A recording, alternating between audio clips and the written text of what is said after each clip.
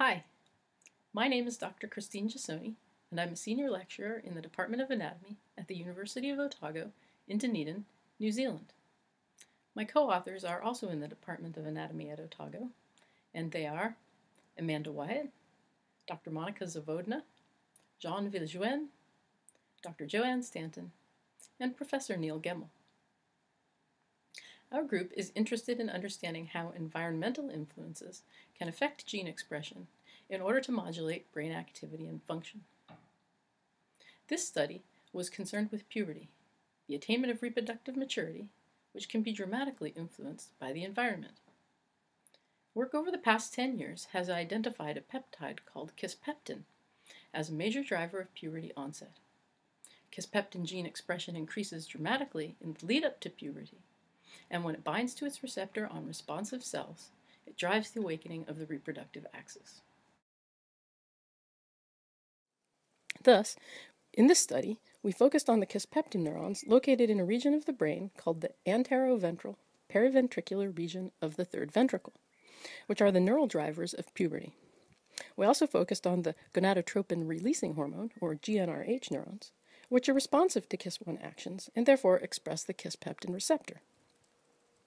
Because DNA methylation can modulate gene activity, and since methylation is responsive to the environment, our study was designed to address a series of reasonably fundamental questions having to do with the possibility that changes in methylation form the basis of environmentally responsive puberty onset. To do this, we used bisulfite PCR pyrosequencing in order to define the methylation patterns in the proximal promoter region of the KISS1 and KISS1R genes before and after puberty in female rats. Before beginning the study, we had used a bioinformatic analysis to identify the potential sites for differential methylation within the promoters for these two genes. We found that both promoters contained numerous residues that could potentially be differentially methylated in order to modulate gene expression. This verified that differential methylation was indeed a good candidate for a strategy that could re regulate the onset of gene expression at puberty. In this study, we then asked whether methylation of either promoter changed with puberty. That is, was the pattern of methylation before puberty different from the pattern after puberty, which would provide circumstantial evidence that methylation is involved in gene expression changes at puberty. This is very important because it means that our study forms a solid foundation on which further studies that examine the regulation of promoter methylation by environmental factors could be explored.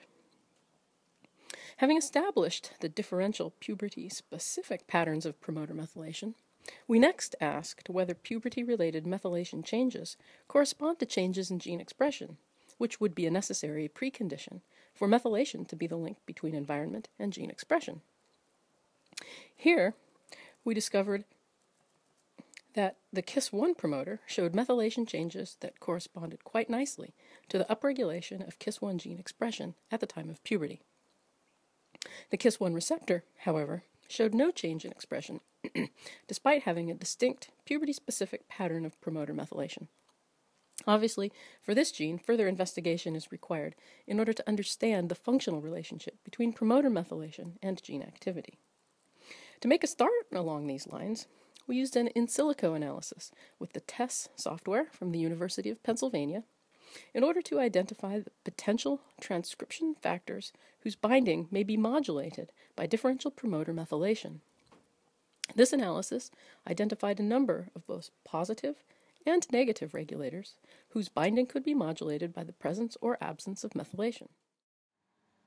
The control of puberty is a rapidly moving and popular field. The studies we report in genetics and epigenetics will form a critical element of the foundation for further examination of the control of gene expression across the pubertal transition.